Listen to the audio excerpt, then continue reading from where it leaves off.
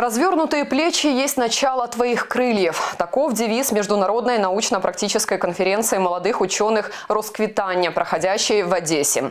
Форум организовали научное студенческое общество с одноименным названием и Одесский национальный университет имени Мечникова.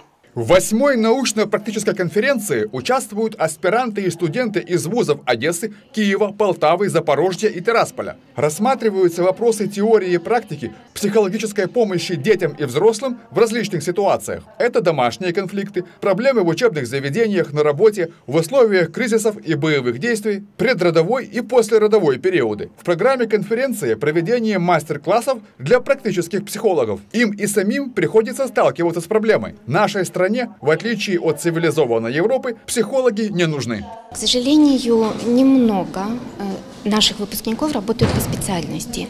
Э, есть те, кто работают в школах, детских садах, дошкольных учреждениях, центрах развития, но очень многие наши студенты создали себе рабочие места сами.